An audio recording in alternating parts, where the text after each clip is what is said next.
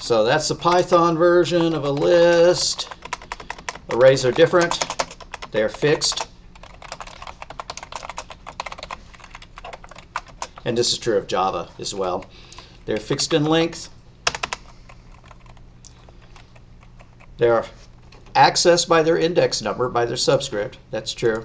They are contiguous in memory, meaning that if there's a value, you know, the first element is stored in this value, and the next one will be right after that in memory, and the next one will be right after that in memory, which makes processing them in a language that addresses them like that really, really fast. Whereas in a list, it's actually behind the scenes a linked list, meaning it has to hop around in memory in order to find the next element. So an array is the fastest data structure. What is it? It's a series of values. Let me actually define one for our language. int L subscript in subscript is equal to curly brace, not, not square braces, 1 comma 5 comma 9, like that. That would make an array that is of 3 in length. It's got three elements. You could make it have a thousand elements if you want to. Well, you wouldn't necessarily want to type in a thousand elements. When you create your array, you can stick a number between the square braces. That number is the number of elements in it. So if you want to create an array that's a thousand items long, you'd say int L subscript thousand. And you probably wouldn't want to put a thousand, you know, numbers between curly braces, but conceivably you could. So the elements that you can print out, L subscript 0 is the number 1. L subscript 1 is the number 5. L subscript 2 is the number 9. It's called zero-based indexing. So if you have 10 elements, you'll start counting them at 9, and you go 0 to 9. We have three elements, so we go 0 to 2. And 10. 0, 1, 2, 3, 4, 5, 6, 7, 8, 9. Adds up to 10 elements. So kind of like n minus 1 or length minus 1. Is there a length function in C that'll tell you the length of an array? No, absolutely not, unfortunately. So you have to keep track of that length yourself. When you define your array, you might define a constant which stands for length. Something like this. Constant int a length is equal to, you know, a thousand. And then when you declare your array, int I shouldn't have used L up there because I use L for my lists. So, you know, an array of ints, ain't, is a length, like that. And I'm going to do this. We don't need a thousand of them if we just want to set them all to zero. If you do that, it'll initialize the first value to zero, and then the next 999 of them will automatically go to zero. If we did this, if we changed it to 1 comma 2, the first element would be set to 1, the second element would be set to 2, and the next 998 would be set to 0. So if your initializer list is not as long as the length of the array, all the rest of them will be set to 0. So this is a really fast way of initializing all your data to 0. Why would you do that? Because in C, if you declare an array but you don't initialize it, it doesn't got good data in it. I guess I'm going to pop open Visual Studio for ease of use here. Feel free to open whatever editor if you're going to open an editor.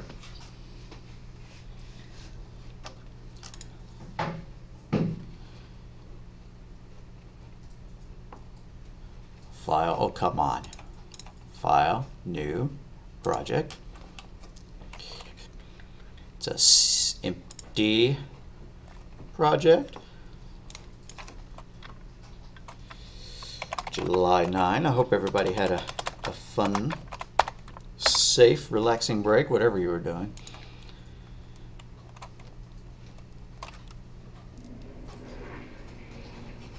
Now I'm going to add a C file to it, so right click on source files, add new item. Call it july9.c.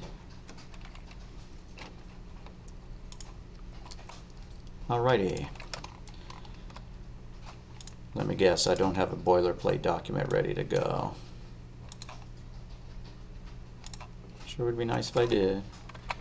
Nope. Alright, type it in. Pound sign include standard io.h int main system pause, but only if you're using Windows, and only if you're not using Cygwin. In other words, only if you're using Visual Studio. Alrighty. And then return 0. Alright. I'm going to declare an array, but I'm not going to put any data in it. And then we're going to print it out. So int AI for an array of ints it's going to be five elements long. Why don't we be good boys and girls and declare that as a constant? a-len equals 5. Const space int space a-len equals 5. And I'm going to declare my array int space ai parentheses a-len end parentheses, uh, excuse me, square braces. Now what have I done wrong? Why am I getting an underscore there? Expression must have a constant value. Well, it sure looks like a constant to me.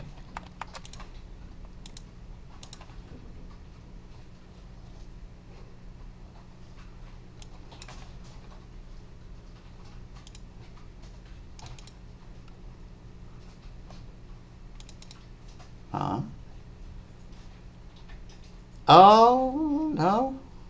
AI is it of unknown size? It is not. Okay, fine. I'll initialize it. Just Got very confused here. What if I take that out? Are you going to work then? Yeah. What if I put a value in there, a 5? Why can't I put A-L-E-N in there? Well, for Pete's sake, I'm going to make it a pound define and worry about that later. Pound define A-len 5. And I'm going to move my pound define above main.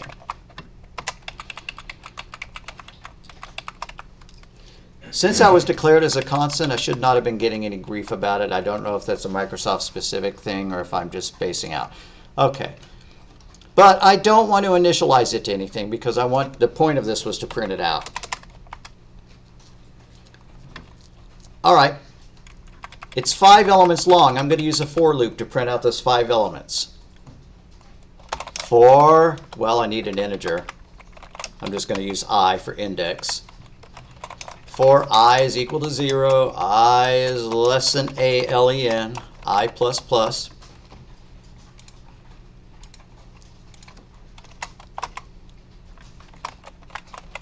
Not system.printf, I'm not doing Java. Printf percent d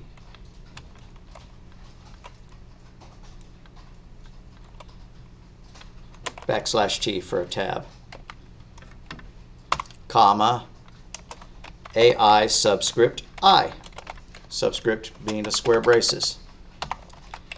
And after our for loop is done, I want to print out a blank line. Since I don't have a slash in in that printf statement, it's, it's not going to go to the next line. All the numbers will be in one row. So printf backslash n.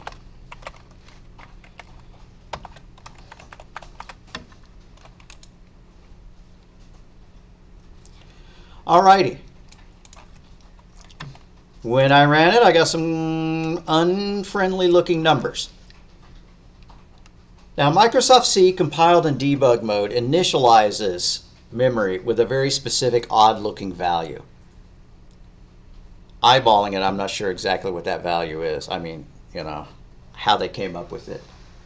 If we compiled it in, in release mode, then it wouldn't take the time to initialize memory with that the reason I give the, this very specific invalid value is so that if you were debugging your program, that number would jump out at you. There'd be no question that, oh, you'd go, oh, that's an uninitialized uh, value. I know what's wrong with that. But I'm going to change my debug compile to release. So I'm going to go up here and choose release, rebuild it,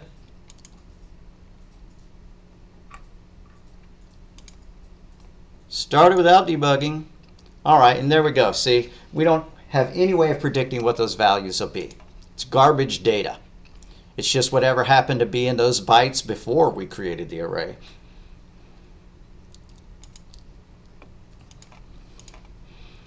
So when you allocate an array, you definitely want to initialize it. A couple of different ways of initializing it. The easiest is just to add the little initializer and say, okay, I want every, I, I want it to be zeroed out. Why didn't they make that the default behavior? As soon as you create an array, it's empty. Speed.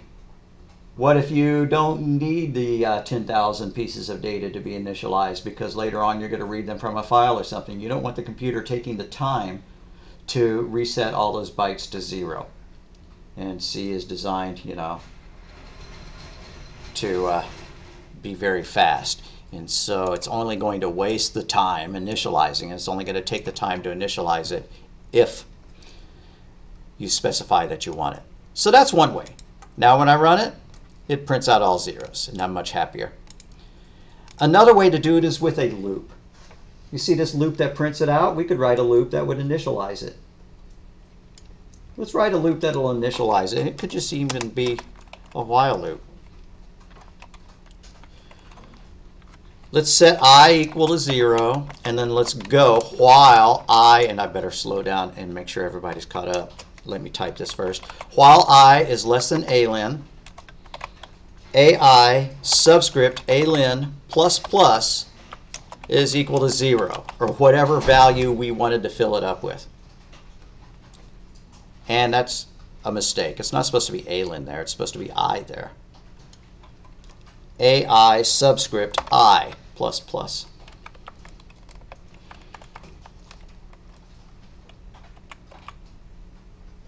I'm going to change that to a 1 just so that when it runs I can see some pieces of data in it rather than all zeros.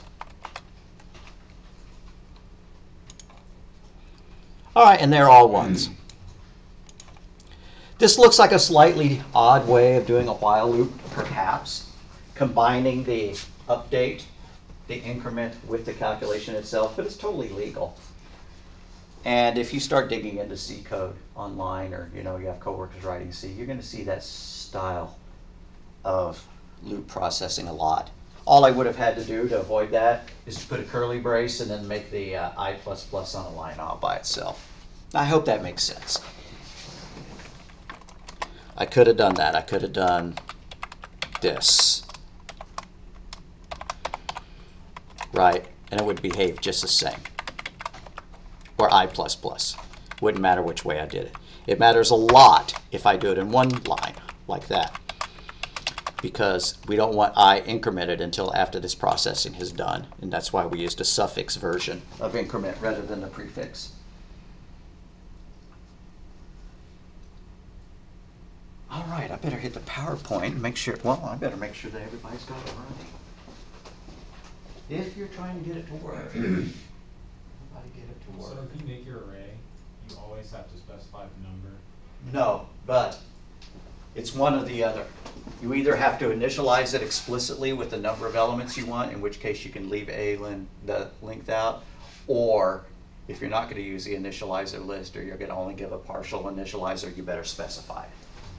So if you put in 10 items here separated by commas, it will automatically give you 10. Now a string is just an array. Let's define a character array called name or something like that. Char name is equal to Bob. Now let's print it out. Print F, and it's a string, so I'm going to use percent %s. I'm going to use a backslash n. And heck, why don't I do name equals percent %s just so I can really know what it's doing. Now it's going to print out Bob. Big surprise. Underneath it, it's an array of characters. It's exactly like that array of ints. You can iterate through it with a, uh, with a for loop. We're a while loop. i equals 0, while i is less than the length of the array. You think it's only three characters long. It's really four characters long. So I'm going to make it i less than 4. Is there no function that counts the length of the array? There is one. There is one. But I'm setting it up like this for a reason, and then we'll use the function from now on if we want. Okay, so, and then printf, um, why don't we print out the number, the index, followed by the value. But instead of a character value, let's print out the ASCII value of it. Wait, wait, wait. Why'd you do four if you're starting at zero? Oh, you did less than, I see, I see. Yeah, i is less than 4. Correct, correct, correct. And so printf percent %d percent %d, I want to print out i, and I want to print out name subscript i.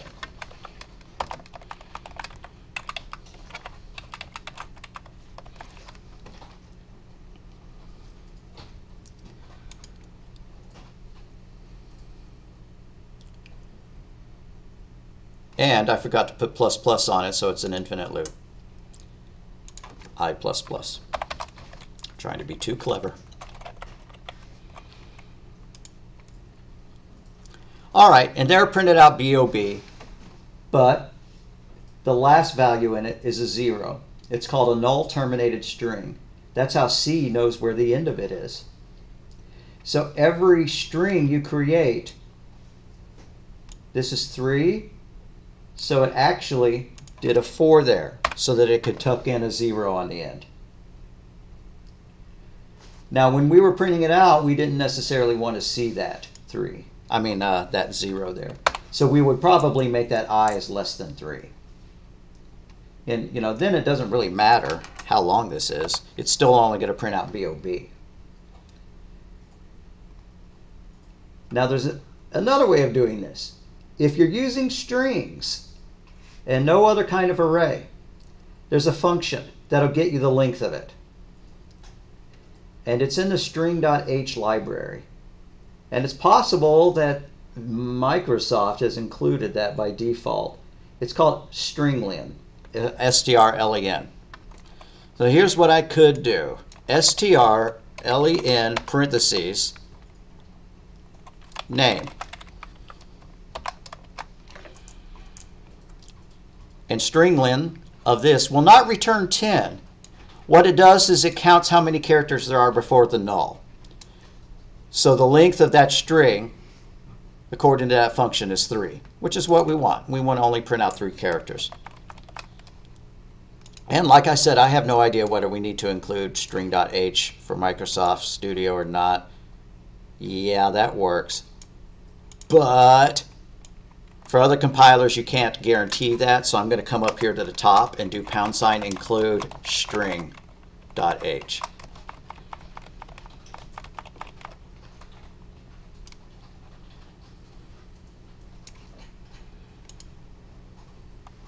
Okay, so please remember that. Please remember that all strings in C are terminated by a null, and so you actually have to have one extra space in your length for it. If you're going to store the word Fred in a string, it better be five characters long rather than four because it needs the null at the end. And it uses that null to know when to stop processing. We could write string we could write a stringlen function of our own. And all it would do is it would keep processing until it found a null. Let's let's mimic that. Just copy that code paste it and change this i is less than stringlen, do this. While name subscript i is not equal to 0. Both of those will provide the same output. Both print out the ASCII values of, of Bob.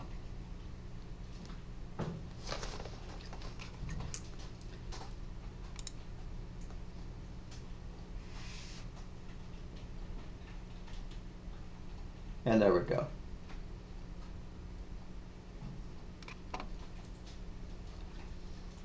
Am I seeing that it didn't print it out? The- Mm. I thought I had two print statements. Oh, you know what I did wrong here? Um, does anybody see what I did wrong? What kind of moronic mistake I made?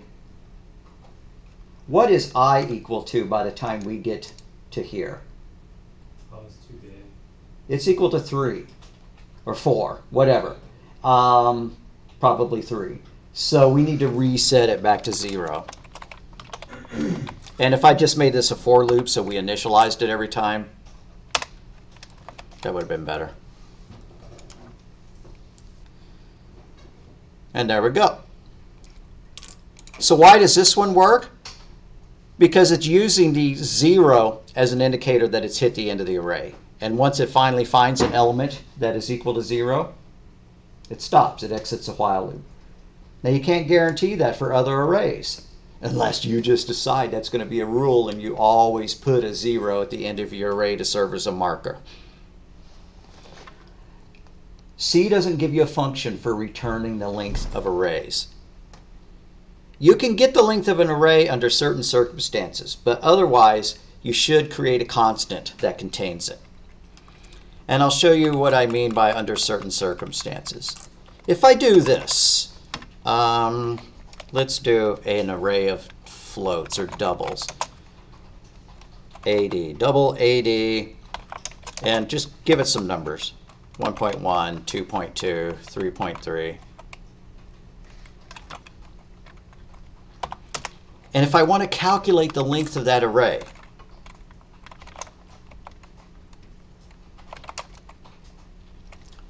calling it ilen because it's an integer and it's containing a length, it's equal to the size of the array as a whole divided by the size of one of the elements of the array, AD subscript 0. And I'm getting an error here. Expect, oh, I forgot my equal sign. It ilen equals. Now that works in certain circumstances. And that circumstance is specifically if we're in the same scope. If we're using this size of method in the same block of code that declared the array, that's totally cool. But if you pass the array to another function, then that size of trick no longer works. And honestly, I don't completely understand why. Um, the compiler will even warn you about it if you've got w dash, you know, w all, and I bet the Microsoft one will too. So just remember that this isn't always available to you. You can use this to calculate the size of the array, but only if it's in the same scope as where the array was declared. Dot as a parameter to a function. So what you ought to do is to declare a constant. That didn't work for us. Constant ADLen. Constant int ADLen is equal to 3. And then let's declare another array. AD2 subscript ADLen. Why is that not working? Expression must have a constant value. Well, what do you think that is?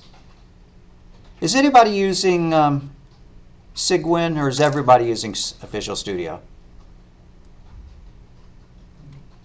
I guess I'll pop open uh, Cygwin. Alrighty, ls star.c.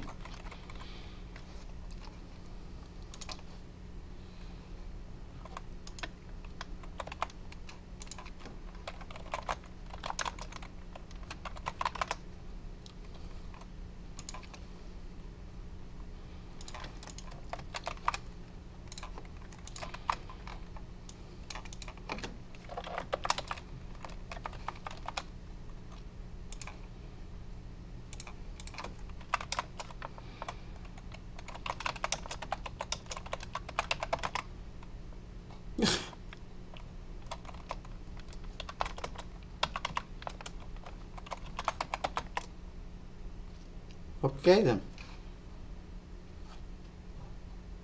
It should be working. It's not. So I'm going to continue doing the cheese ball thing of pound sign define AD len equals 3. Whatever. Why are we doing that? Oh, remove the equals, remove the semicolon because that's not how you define things with a preprocessor. You just define them by the word and then the replacement value. That's how you define the macro. Okay. Why am I doing that? So that I can pass it around and I can use it in while loops and for loops and stuff like that. Because if unless it's a string, I don't have a, a function. And unless it's a string, I can't depend upon the last element being a zero. So for parentheses, let's print it out. i is equal to zero. i is less than AD len. i plus plus. printf percent %d. Let's mess with this a little bit. Let's use a different syntax. Let's print out uh, 20 digits of it. Percent 20d, comma, AD2 subscript i. And then at the end of that, let's print out a new line.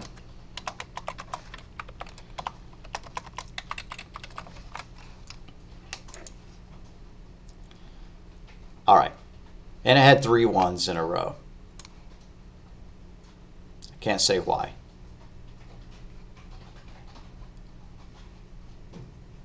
Notice that each number is 20 spaces apart because that's what this specified. And if we wanted to specify a certain number of decimal places, we could do like percent 20 dot 5 D. And it's not supposed to be a D. What is it really supposed to be? That was my mistake. F, right. So it's probably not all ones. I have no idea what it was actually supposed to be printing. Let's find out. Why do you have to use LF for dumb? Yeah, LF is long code. Well, that's better. Isn't that what you're supposed to do, LF?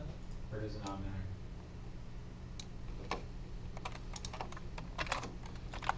I thought, I thought double was LF. I think you're right. Percent %f is the, or at least one, correct format for a double. Well, fine, but you're correct. It's supposed to be LD, excuse me, LF, but you can leave it out too. Percent %f works both for floats and doubles, just like percent %d works for both ints and longs. But shouldn't you use percent %ld for longs? Don't remember. Anyways, why don't we be correct? Alrighty, so it, it printed out all zeros. Apparently the floats are being set to zero when it's created, whereas the ints were not. They were had that random data in it. I can't explain why. Let's uh, switch back to debug mode and see if that's still true.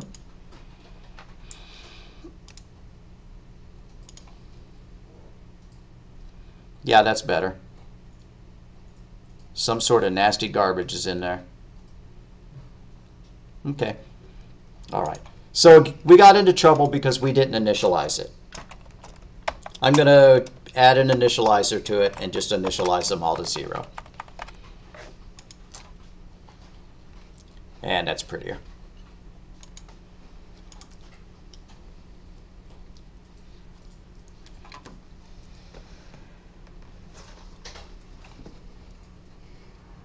So without some way of tracking the length of the array, we would get into trouble. We wouldn't know how long to print it out. Or if we were going to sum up all the values in the array, we wouldn't know how many to add up. And we could try to calculate it with a fashion like that, but that only works if the array is declared in the same context, in the same scope as where we're trying to process it. Let's go hit our PowerPoint.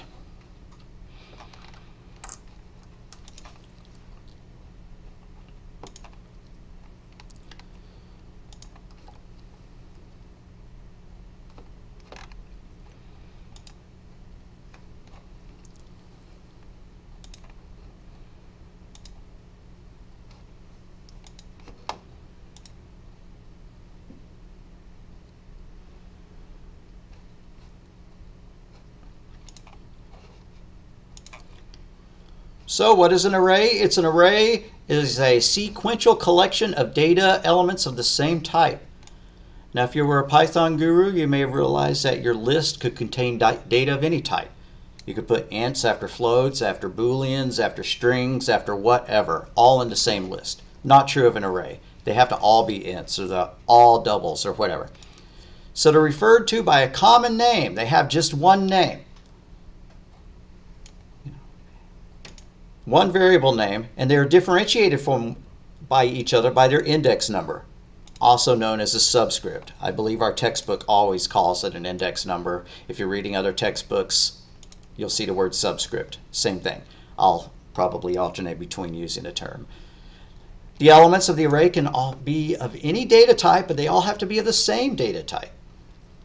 So an int is a 4 byte data type. So if you create an array of 10 ints, it's going to be 40 bytes long. So they all share the same name in a, in a specific array. They all share the same data type. The individual elements are called, excuse me, each spot in the array is called an element, and you access them with their index number, also known as subscript.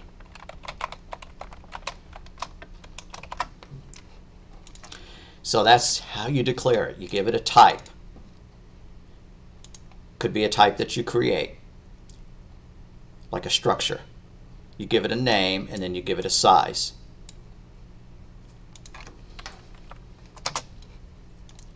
Example, that's an array of 100 elements. You can access elements 0 through 99. So you access them by their subscript, their index. If you have an index of 20 elements, 0 through 19, with 0 being the first element, 1 being the second element. And that can kind of give you just a little bit of mental pause. I want to get the last value, you know, in the array. It's 20 long, I should be able to do A20. No, that's 1 past the end. So in C, the subscript starts with 0, which means that you can go out to n minus 1, where n is the length of the array.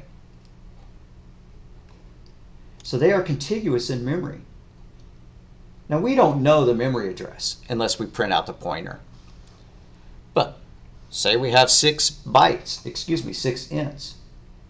Since these are ints, each one is four bytes long.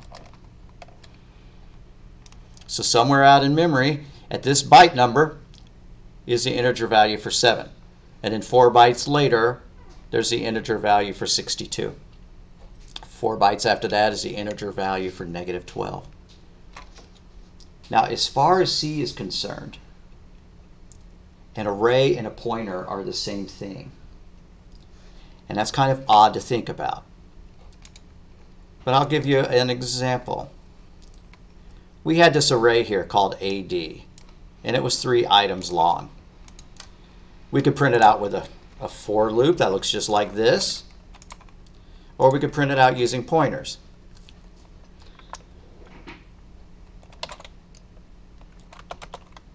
Let's print it out with a while loop. So i is equal to 0, while parentheses i is less than 3. I'm going to use braces this time. It's an array of uh, ints. No, it's an array of doubles. So printf percent %d and then backslash t for tab, comma, ad subscript i. Now this 3 is hard-coded in there, and that's bad programming. We should have defined it as a macro or a constant or calculated the size of the array. We need to increment i, so plus plus i. Putting the plus sign in front of the i saves a couple of nanoseconds as far as the program is concerned while it's running. And let's print out a blank line at the end of it.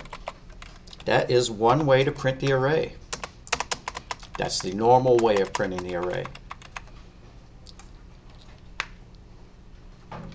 So if you want to print out the first item, first value, I'm just going to create a variable called v. I'm not going to even use it. The first element in that array is at index value 0. Now I'm going to declare a pointer to an int and set it equal to the address of that array. Except I'm not going to use the ampersand. An array already is an address. So int PA, pointer to the array. Except it's not an int, or it's a double. Okay, a pointer to a double. Let's set it equal to the address of our array. PA is equal to AD. And if we wanted to find out what was in that first value, we would do that. That's position zero. If you wanted to make that explicit, you could do this, like that. What if you want the second value? Well, if you're using subscripts, the nice clean syntax, you do it like that.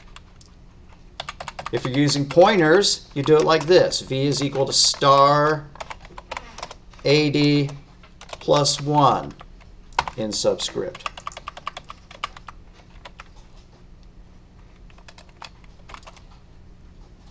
If I have that wrong?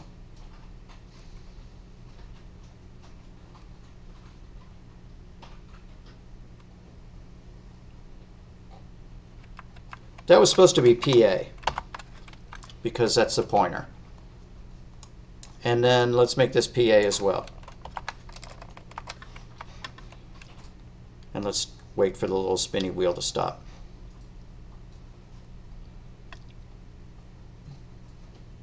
Come on. All right. All right, I'm going to compile it just to make sure that that's not an egregious syntax error.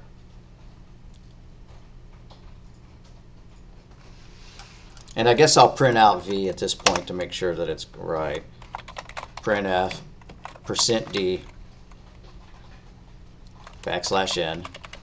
Guess I'll make it V equals percent %d so I can kind of differentiate it from everything else. Star parentheses PA plus 1 in parentheses. Okay.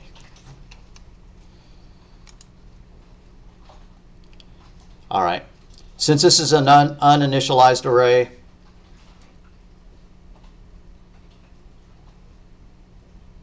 It's not uninitialized.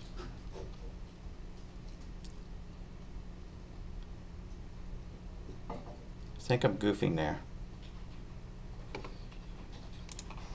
AD should have had the values 1, 2, and 3 in it. Yeah, or 1.1, 2.2, and 3.3. All right. I made the mistake again. This is an array of doubles, so I should not print it out with D. I should print it out with F.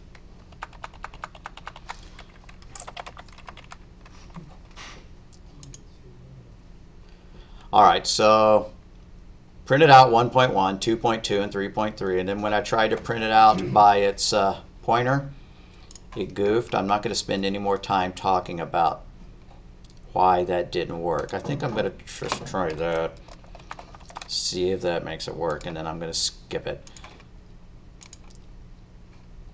because I like introducing the concept of arrays but I don't want to waste the time if when it I mean the pointers when it goes wrong yeah okay go and skip it Alrighty then, I'm going to delete all that stuff until I'm sure that I can demonstrate it accurately. Okay. Sorry about that, guys. A, you just had a D instead of an F. Oh, did you see what I did wrong? Yeah. Let me undo that. Oh, for Pete's sake.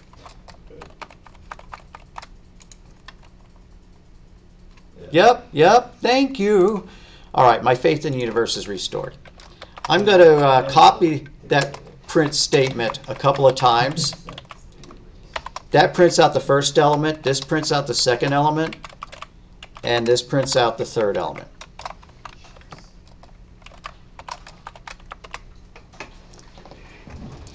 Now you would much rather use subscripts, I would expect but you can process them as pointers. As far as C is concerned, there's no difference between an array and a pointer. You can use them interchangeably. Anywhere you can use one, you could use that um, the same nomenclature to access them the other. Now, if it's just a pointer to an int, to a single value, a double, something like that, rather than an array, then there's no reason for you to use subscripts. But you could. You could always just reference it as subscript 0. to give you an example of that. Int star pi. This is going to be an index to a pointer. I mean a pointer to an int. Let's set it equal to the ampersand of i. We know that there's an int called i. And if we wanted to print out the value of i, whatever it was, and then this one is an int, I could do this. I could do i subscript 0. No, i pi subscript 0 because I want to use the pointer to it. That would work. It would print out whatever the value of i is. Let's set i equal to something to prove it. Above that, I'm going to do i is equal to 999. All right, so it did print out 999. But are you going to do it that way? Not unless you, really want to. Normally, when you access a pointer to a single element, you use that nomenclature.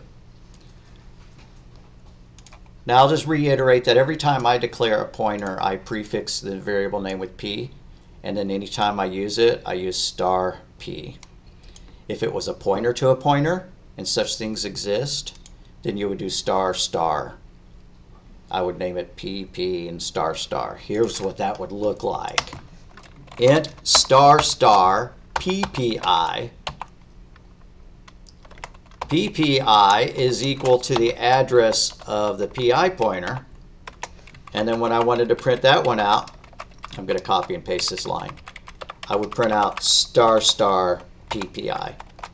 And it's okay if you're not totally getting pointers. But I want to keep nudging up against it just because it's terribly important. And all of this other stuff you will see in other programming languages, but pointers are very specific to C and C++. All right, and so both of those printed out I. You, see what I did is when I declared a pointer to a pointer, I gave it a name of double PPs. And so when I accessed it, I put in two stars in front of it, one star for each P. Do you have to name your variables like that? No. If you do it like that, then other C programmers will recognize what you're doing.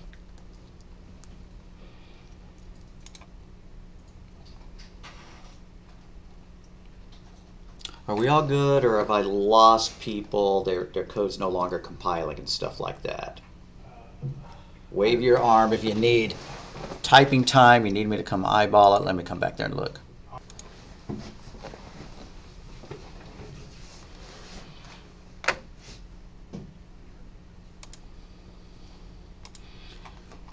So initializing a one-dimensional array, and C, the memory spaces are not cleared from their previous value when variables arrays are created. Now oddly, in C++, if you create an array as a global variable, it does initialize it. If it's a local variable, it does not. I'm not sure that that's true of C, so let's just give this as a blanket statement, memory space is not cleared. So it is generally good programming practice to not only initialize your variables, but also initialize your arrays. You can do it during declaration. You can quickly initialize your entire array by giving a single default value. But don't be fooled, that single default value does not fill up the whole array. It just fills up the first one and then the rest of them are set with zero.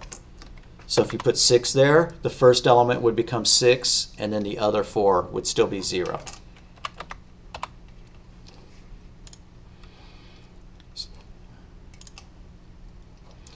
So here we have an array of length 5. We have set the first element to 1, 2, 3. The rest of them are 0. And so we set our index counter to 0. And while the index is less than 5, so it'll go 0 through 4, we're printing it out. Now we don't need to type this in again because we have uh, done this several times in code already.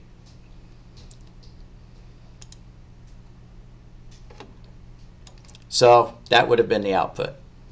First elements, one, two, three, the rest of them, since no initializer list was given for the successive elements, would all be zero. If we left this number out, it would have been an array of one, length one. And then this would be a terrible idea. Going through and accessing those other elements would not be a syntax error, but they could crash your program. And they certainly are not displaying anything that you expect. You have no idea what data is stored after that array. So if this array is only one element long, you better only access the first element. It's up to you to guarantee that. It's not going to give you an error. A compilation error, I mean. So, that's how you process it with a while loop, but it's bad programming. The magic number 5 should be defined as a constant or as a pound define. Or the while statement should calculate the index. The length of the array is equal to the size of the array divided by the size of an int. Now I know that method works in uh, C++. I'm not terribly sure if it works in C, so I always just did the size of the first element in the array. I guess we're going to find out. I'm going to, I know I use size of up here. Could I have replaced this AD0 with the size of an int? Is that still good syntax? Yeah, okay. That's a cleaner way of doing it, eh? But does that only work if your array is an int array? No, It'll do it no matter what. that uh, I, I totally botched. This would give me an invalid value. That's this only works if it's an int array, Yeah. just like you said. It should be divided by the size of a double. And to eliminate the possibility that I'm going to mess up as bad as I just did, I'd rather do the first element in the array like that. Just for that purpose, I wasn't paying attention.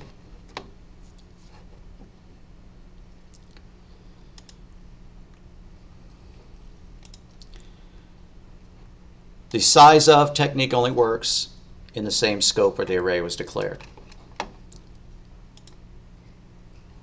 So, important, to handle arrays and functions, you should always pass the length of the array in as an argument. Otherwise, you don't know how many elements to process because you can't use size of in a function. Let's declare a function that does something with that, that kind of data. You know, we have all these arrays of doubles. I'm going to go down below all of this and declare a function. Well, great. I don't know why I have that much free space. That will sum all the values. Let's write two functions, a sum and a print. So void sum double array. And double DA square brace in square brace. Wait, if it's a sum, we shouldn't declare it as a void. We should declare it as a double so we can return a value. All right, we need some counter as an index. I'm going to use i, my favorite index variable. int i is equal to 0. For i is equal to 0. i is less than the length of the array. Oh, no, I don't know the length of the array. I have to pass it in. I can't use size of because this is being passed in as a parameter, and size of does not work in that case.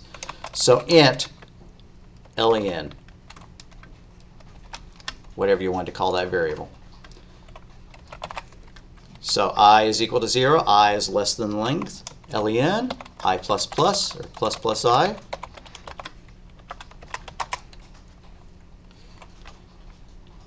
I forgot to declare a sum variable to hold all the values added together. So I'm going to go up above my for loop and declare a sum and set it equal to 0. My accumulator contain all those values. And then in here, sum plus equals dA subscript i, each element in turn. And then we can return the sum.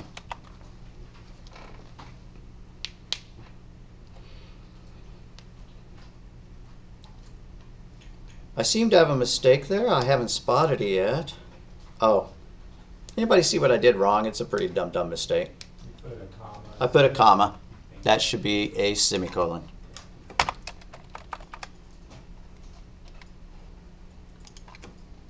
Since I'm putting all this code below my main function, if I wanted to call it from main, I would have to declare prototypes. So I could put that in a header file or I could just put it above main.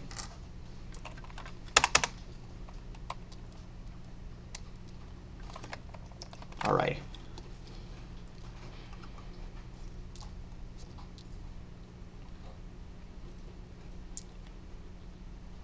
So why did you call your function double? It's just an array of doubles. No, I mean like um, Like normally, last time we made a function, we called it an int. So does it have to do with the value that's being returned? How does that work? Oh, oh. Yeah, if that was an int, it would be converted to an int on the way out, but it's an array of doubles, so I don't want that conversion to happen. I don't want to truncate it and lose the data. So I'm declaring it, and maybe I'm not answering the question, I'm declaring it as a double because these are doubles, and so when they're all summed up, the data type that I'm returning is double, so that's what I want to return. Okay, so when you make your function, Right, right. If you want it to return an int, you declare it as an int. So if we were going to write a function that would add two longs together and return the result, long, add two long, long x comma long y, we declare a result or a sum or something like that. Long sum, sum is equal to x plus y, return sum.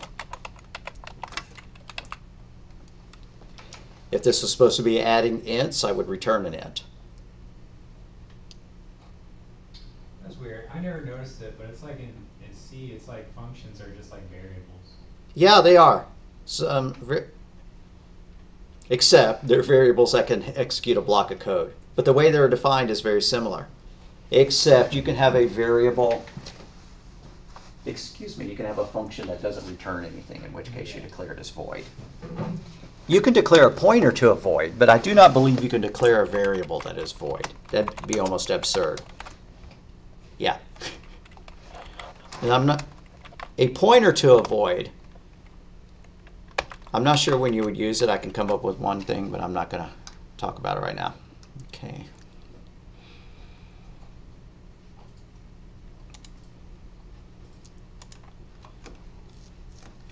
So, if we're going to print our array, we would pass in both the array itself and we would pass in as a variable array length. Now, if you had defined pound defined array length, right, as a uh, as a constant somewhere, then you might be able to get away with it, but that would assume that that function was written only to process that very specific array that that length was defined for. It's far better to just pass it in.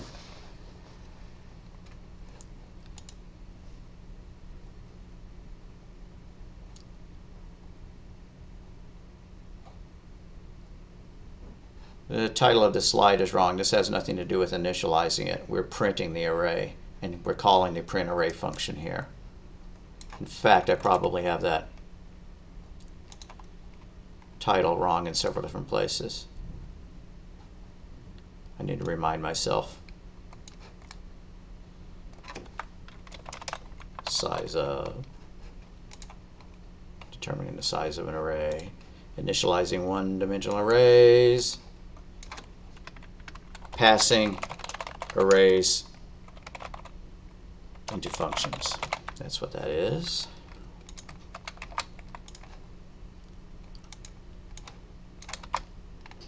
So like when you uh, start your C program and you do your int main, can you do things like double main? Let's find out what the compiler has to say about it. In Microsoft C, I know you, de- you can declare main as void. Yeah, I've seen that before. Void main. Or I've seen people like put void inside main. I don't know why. But That would be interesting. I'm not sure why you would do that. Is that bad syntax here? Nope. I guess that's just saying we're declaring a function and it's not accepting any data type, which seems superfluous because it's already going to assume that if there's nothing between the parentheses that it's uh, not got any data there. Well, Microsoft's not giving us any grief about it, so it could be that you could declare it as uh, being of any type. The reason we return an int is so that if we call it from a script, from bash or you know the command prompt or something, we could check the return value. And if it's returning a double, I have no idea if that gets passed back to the script correctly or not, or if the operating system is expecting it to return an int.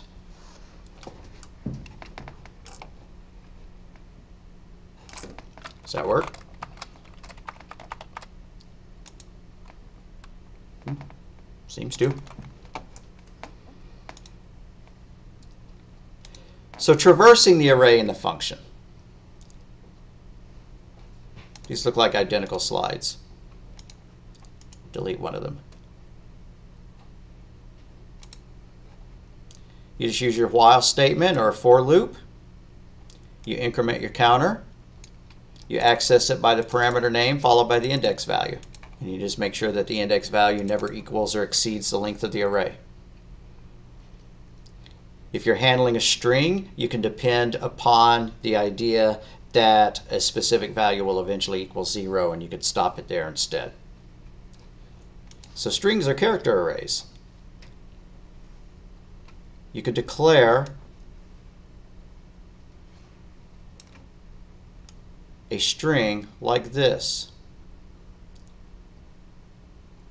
Or you could declare, I mean, e either syntax works. You could declare it like that. The C compiler will turn it into this syntax, where you're giving a series of characters to fill it in.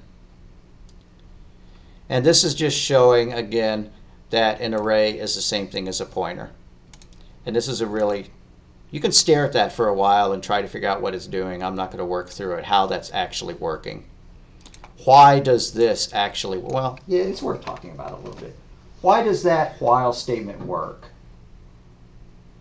It looks completely alien. We don't have an index.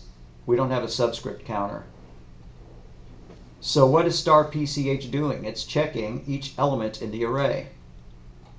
When will star PCH not be true? When it's equal to zero.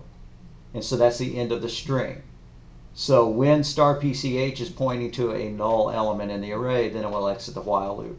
But you can only do that kind of shenanigans if you have an array that you are sure is zero terminated.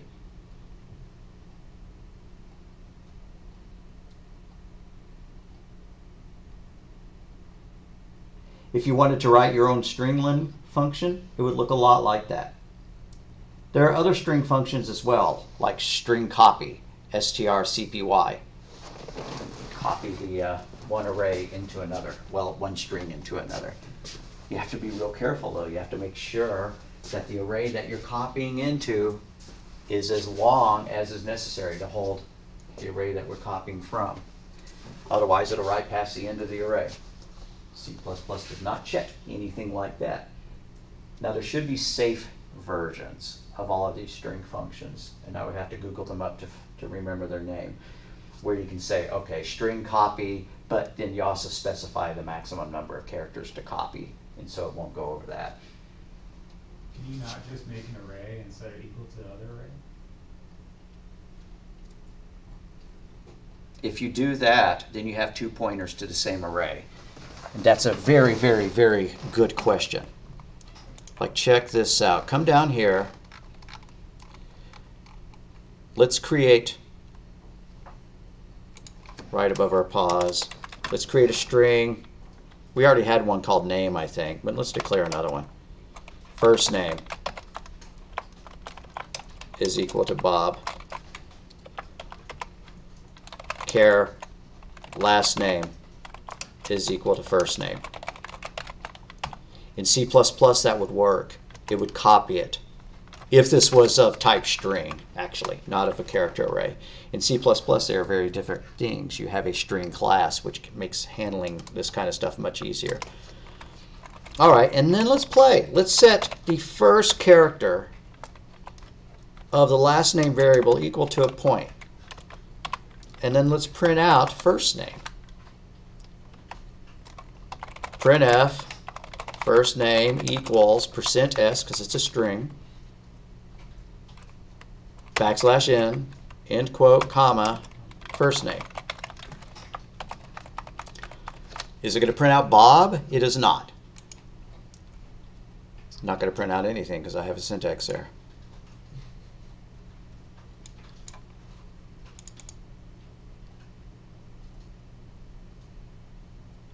Apparently I have a lot of uh, errors. String is an unsigned int. i is assigned int. And so it's giving me a warning about that. And here I declared int v as an int and I was copying some doubles into it so I was getting some warnings about that. I guess I'll clean up some of these warnings as I'm going along. But where's the error? Here it is. Array equals curly braces. Alrighty. Oh, how does that work then? I wasn't expecting to see that error.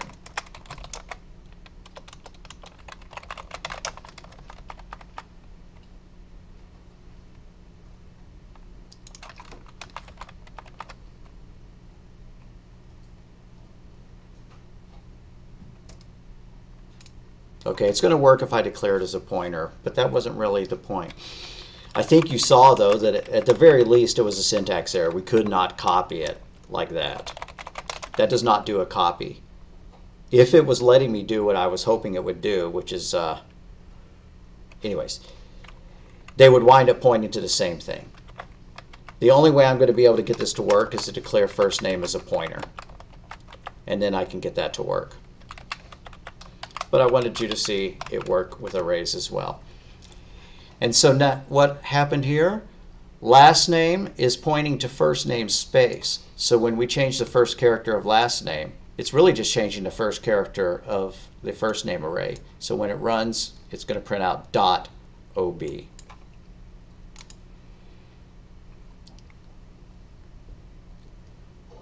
So Or something different. There's not an easy way to just copy your array. No. Well, when we say easy, there's probably a, library for doing it. Array copy C library. Copying strings and arrays. Okay, there's one called mem copy. Mem copy will do an, a copy of an array. That's good news so that you don't have to write your own copy function every time you want to copy the data over. Now, when you were doing Java, that syntax, um, you know, last name equals first name, is totally legal. They still wind up just pointing to the same memory address. But that's okay in Java because strings are immutable, meaning that you can't change the contents in the middle of a string. If you need a new string, if you need to alter it, you actually create a you know new string space. So you can't get any weird side effects like that. But in general, anytime you have a reference type in Java and arrays, since they are classes, and strings, and any other kind of class is a reference type, if you just use the equal sign, it doesn't do a copy of the contents. It just sets both of them equal to the same pointer. That's true of Java. Now in C++, you can do what's called overriding the operator, the assignment operator. And you could make the assignment operator in C++ actually do a full-fledged copy of your data across the equal sign.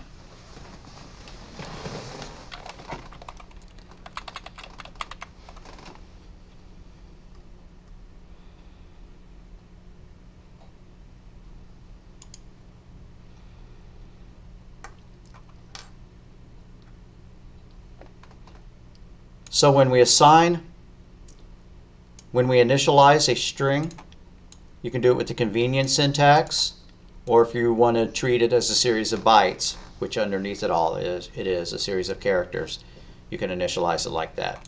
But we have to include the zero at the end. That zero is at the end of that, it's just that we don't see it, the compiler adds it for us.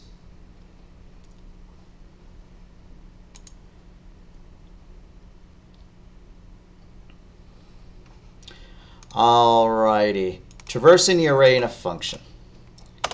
I'm going to delete that comment because that I actually moved the uh, stuff about pointers to the very end. This is just a function for stepping through it, printing it out item by item. Same function as we have written up here, except we called it something different.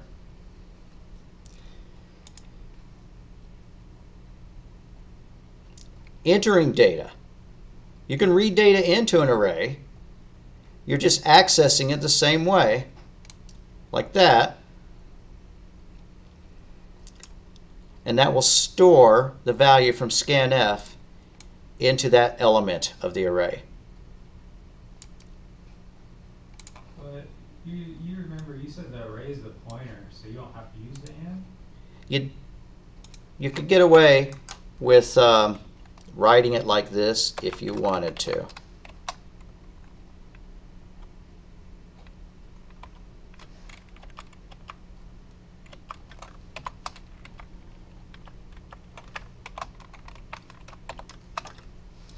That would treat it like a pointer.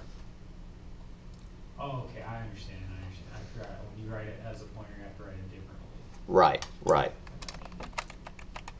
So, since this is an int, since a subscript i is an int of itself, we do have to pass it in like that. If it was a string, we wouldn't have to pass it in like that. If we were going to read in an entire value into a string, because a string is a pointer. But this isn't a string. So you read in your data using the ampersand, followed by the name of the array, followed by the subscript. Then when you print them out, it's just going to be the same business. You don't use the ampersand, of course. Ampersand is just for passing things into scanf, unless it's a string. And I never have figured out why you can pass it in with the ampersand, like you were suggesting, if it was a string, because that's not correct. So if we have an array of floats, the first element is 0. The last element is the length of the array minus 1. The length of this array is 3, so the last element we can access is 2.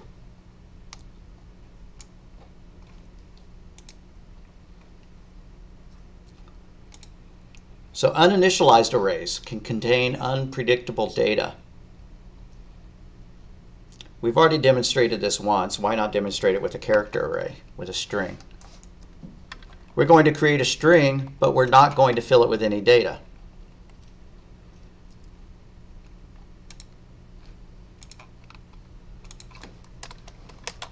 So care, I don't know, ACH1 for an array of characters. It's going to be four characters long. Or five. We're going to stick the word Fred in it. No, we're not. We're going to leave it alone at first. Now let's print it out. For i is equal to 0, i is less than 5, i plus plus, printf percent %c, end quote, comma, ach1 subscript i. And then let's print out a new line after that. Printf backslash n, quote, backslash n.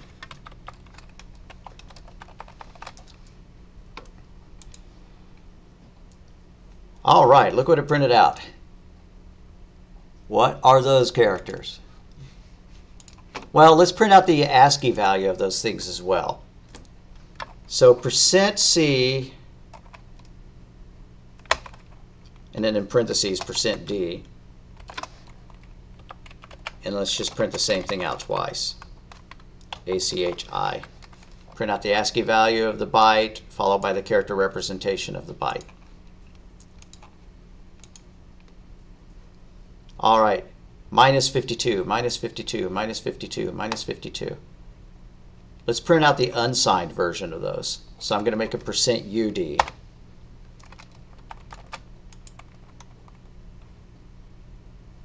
That's not what I was expecting at all. Okay, obviously it's filled with garbage value, garbage data, and I'm not going to take the time to try to figure out what was wrong. Oh, you know when you, took that test, and you had a question, and it said uint on there?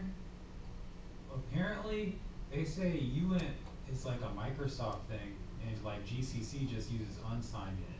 Oh, my mistake then. I apologize for that. I used uint for the GCC version of it. I should have made it unsigned int. You are absolutely correct. And if anybody missed a question that involved a uint, I will give you credit for that. So eyeball your exam. And while you're checking for questions to ask about, look to see if there was a uint in it and if you got the wrong answer. So uint GCC difference between uint and unsigned int? The first answer will be this question has already been answered. Nope. Yeah, uint isn't a standard type, unsigned int is. And what does this fact imply? That your GCC may happen to have uint, or it may not, but it will have unsigned int. Code written with uint won't be inherently portable unless you just do a type def unsigned int uint. So some systems may define uint as a type def just like that. For these systems, they are the same, but uint is not standard. Okay, thank you for pointing that out. Let's go preview the quiz and see what questions I asked about that. I'm feeling really dumb at that point about that.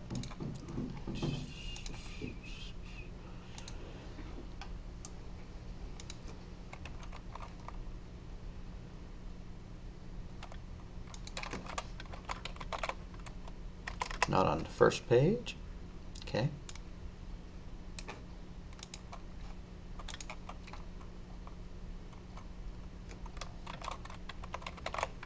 Not on the second page? All right, really? I think it was just the answer choice for one. Feel like it was on the first page though. Seemed like it, and if the search function's not finding it. When we go over it question by question on Wednesday, we'll, we'll spot it, or if you spot it, that'd be great. Okay. I could find it if I wanted to. I think we've had our, our fill of arrays anyways, so we're, we're going to wind up the class really soon. So if you wanna change a value in an array that you already have one there, can you just do it with the subscript and then you just put equals whatever you wanna? Exactly. Every element in an array is just a variable. So if you want to change the uh, second element of an array and set it equal to 456, you do a subscript, you know, whatever the number is, 1 to get to the second element is equal to 456.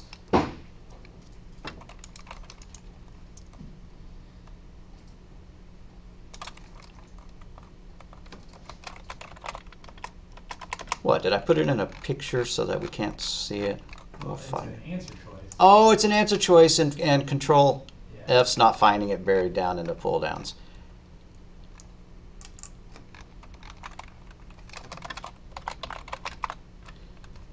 What type can we use in GCC to define a 4 byte variable? If you got 22 wrong, I need to give everybody credit because there's no correct answer. uint might work, but it might not work because it's not defined necessarily. It's not part of the C standard.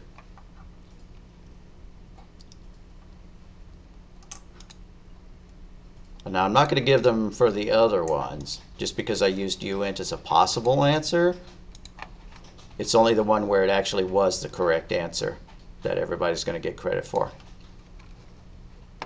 All right, let's talk about homework over arrays.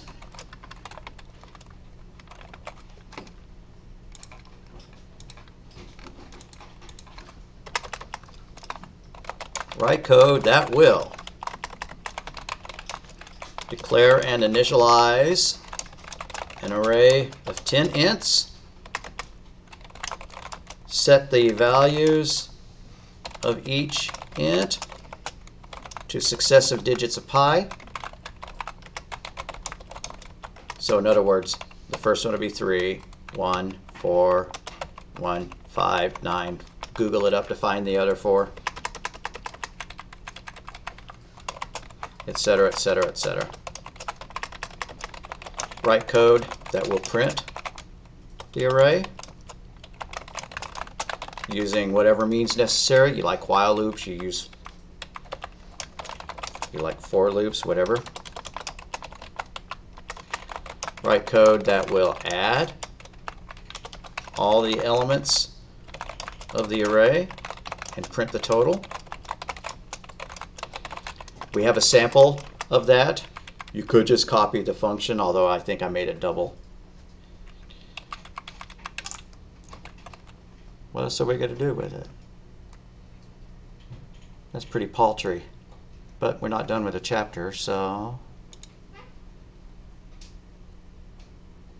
I had a brilliant idea for a homework assignment as we were going through, and I've forgotten it. That's unfortunate. Yeah, it's so sad. Very sad. When you were, when you were talking earlier, you said one-dimensional array, so you can have like bigger dimensions in your. array? exactly. Like what is tic tac toe? It's a two dimensional array. Uh-huh. And you access each element by both its row number and its column number. Oh, is that how you make a matrix and stuff? Yeah, a matrix. So you could write matrix math functions, you know, multiply two matrices together or whatever. And there are three dimensional arrays, like if you're representing three space. Three-dimensional arrays? Yeah. Like four dimensional row. Yeah, if you're going to play tic tac, 3D tic tac toe, you would need a three dimensional array. And if you were going to store every single about the fifth dimension? value, it would be a four dimensional array. Yeah, yeah. You can create arrays of any, I don't know what the max number of dimensions it is. But the definition looks like this.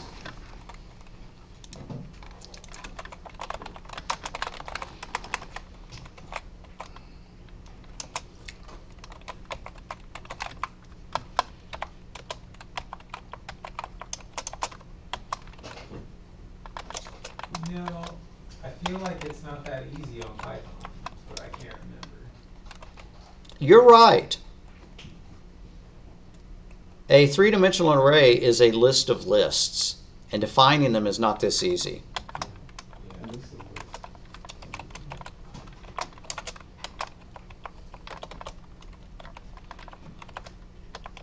All right, that defines a three a two dimensional array. This is the first row. This is the second row. And this is the third row. So if we wanted to set this element to a 1 because the player wanted to, you know, put an X there or something like that, then you would do tic tac. What row is it? It's in the third row, so that's row 2, 0, 1, 2. And what column is it? It's in the first column, so that's column 0, 1, and 2. So that would be a 0 is equal to 1, like that. Now, my brain really can't parse anything more than four dimensions. I certainly have never written a program that even used four a four-dimensional array, but you absolutely could use them. I don't know what the limit would be. To access, to step through a two-dimensional array, you use a nested loop. You know what? Why don't? another question I have. So I was doing this Java assignment the other day, Yeah. and I broke out of a nested loop by like naming the initial loop, but I don't think you can do that in C, can you? There is not a, well, why don't we do it to see? Yes, Java lets you break out of a named loop. Remind me, does the name uh, begin with a colon? It probably ends with a colon. With it. Yeah, so outer colon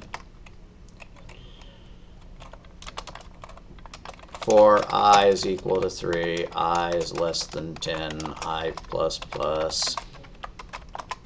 If i is equal to 6, break outer. Yeah. How about a go to? This is horrible programming.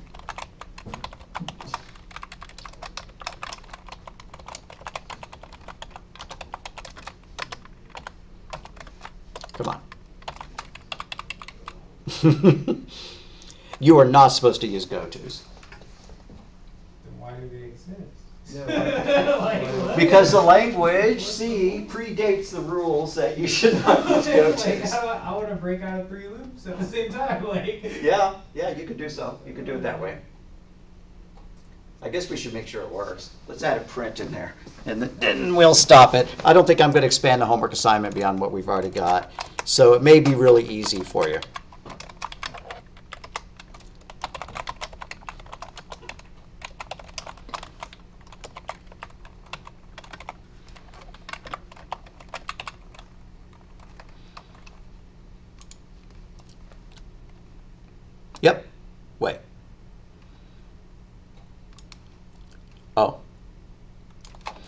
Should have printed an outside of that thing. Excuse me.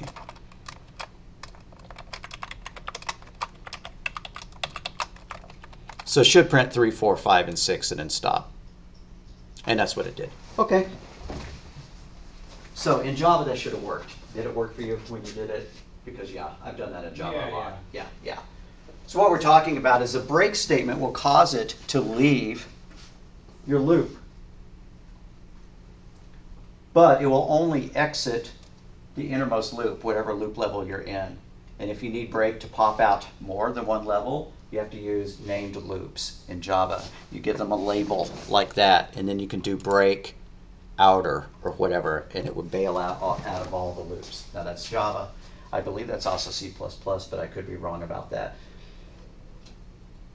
So instead, use a goto and uh, don't tell them that I showed it to you. Okay.